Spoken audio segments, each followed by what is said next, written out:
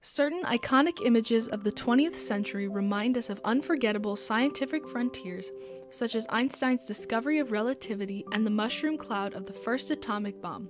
However, one image has been obscured from its crucial frontier in history Photo 51. The frontier of DNA's double helix, the scientific injustice behind Dr. Rosalind Franklin's Photo 51. Pioneer scientist Dr. Rosalind Franklin revealed the double helix of deoxyribonucleic acid, DNA, in 1952 using crystal X ray diffraction. Her innovative research provided the critical missing link that scientists Watson and Crick needed to develop the helical model of DNA. The frontier of modern molecular biology hinged on her landmark Photo 51, but she would be denied the frontier creating credit she deserved. On Saturday, February the 28th, 1953, in Cambridge, England, Jim discovered the way the four bases, the four letters of the genetic alphabet, are paired in DNA. The reason this was so exciting is because it immediately suggested that the way genes might replicate and so convey an immense amount of information from one generation to the next. However, long before Dr. James Watson and Dr. Francis Crick announced their groundbreaking Watson Crick DNA structure model, DNA itself evolved from decades of research. The genetic blueprint of DNA had its roots in Darwin with his theory of evolution in 1839, Mendel, who isolated genes in pea plants in 1865, Miescher, who defined nuclein from pus filled bandages in 1869, and finally Kossel coining the term DNA in 1881. It would be the 1930s before Avery would prove that bacteria replicated because of simple DNA and not because of the more complex protein molecule. The mystery of how DNA controlled heredity continued into the 1950s because one critical link was still missing its structure. This is what Dr. Rosalind Franklin set out to discover, and in 1952, she created the critical evidence to determine DNA's helical structure with Photo 51. Unfortunately, Franklin's work would find its way into the lab of Watson and Crick without her permission, leading to one of the biggest scientific frontiers and injustices in history. It all started at King's College in 1951. As one of the very few women in science, Franklin had just been hired to study DNA through the process of X ray crystallography that used diffracted beams to project a crystal's pattern onto photographic plates to reveal its structure. It was a good old boys' club working environment, coupled with a resentful co worker named Dr. Maurice Wilkins, that left Franklin to work in isolation often. Despite her blunt personality, PhD student Raymond Gosling willingly worked with her, and they made an important discovery that there were two forms of DNA the crystal A form and the wetter B form. Meanwhile, Dr. James Watson and Dr. Francis Crick were researchers at the prestigious Cavendish Lab at Cambridge University. They were assigned to research proteins. Franklin thought of them as intellectual butterflies and disregarded their tinker toy model building that was not backed by research. Despite being told to focus solely on proteins, Watson attended one of Franklin's DNA lectures in 1951, not really grasping the X ray crystallography information as he was more interested in patronizing her. After the lecture, he tried to build a DNA model. Franklin was asked to review it, and his failure was so embarrassing that his lab forbade him to study DNA any further. It was only when Cambridge thought that an American scientist, Linus Pauling, would beat them to the discovery that they were allowed to work on it again in 1953. Watson then visited Franklin's coworker Wilkins and gained access to her unpublished findings. Upon seeing Photo 51, Watson recalled, My jaw fell open and my pulse began to race. Scientific writer Dr. Howard Markel called this moment one of the most egregious rip offs in the history of science. Photo 51 revealed a helical structure of the B form of DNA with its X pattern. Franklin had set it aside in 1952 and was studying the A form now for confirmation. Many scientists saw her work as intellectual knitting using a rote skill instead of cognitive insight. But this didn't deter Watson and Crick from benefiting from her work as they raced to build their model in six weeks, making Franklin a mere footnote to their work by publishing. We were not aware of the details of the results presented when we devised our structure.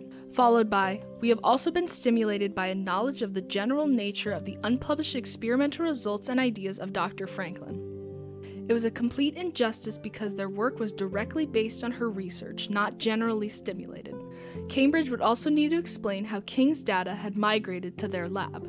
The editors at Nature Journal would solve this problem by publishing a series of three articles announcing the structure.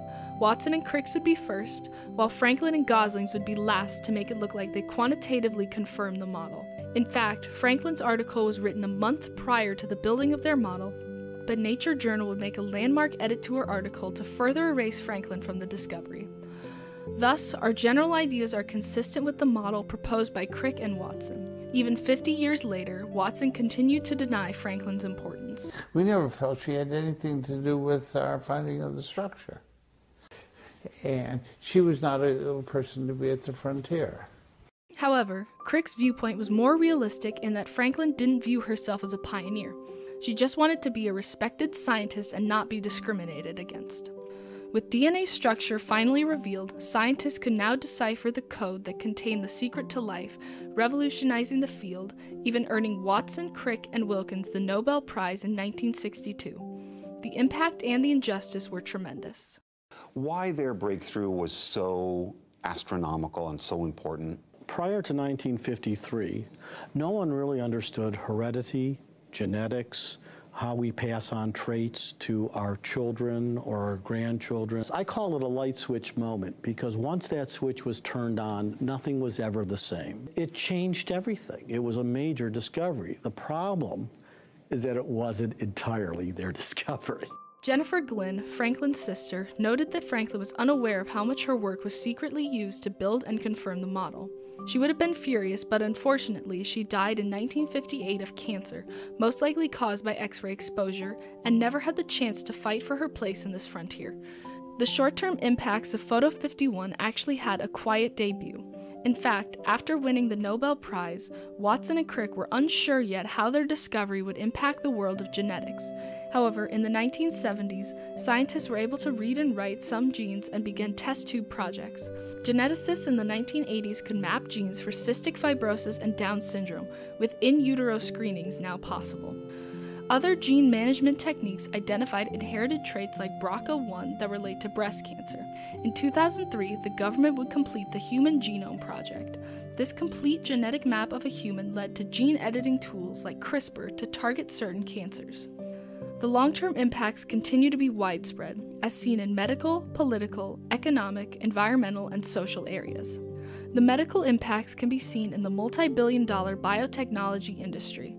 The double helix transformed the field, and according to Dr. Watson, it is estimated that over a quarter of what is being done in modern biological research is rooted in the structure's initial discovery.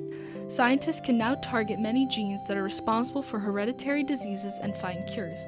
Techniques using recombinant DNA have helped to develop vaccines and drugs.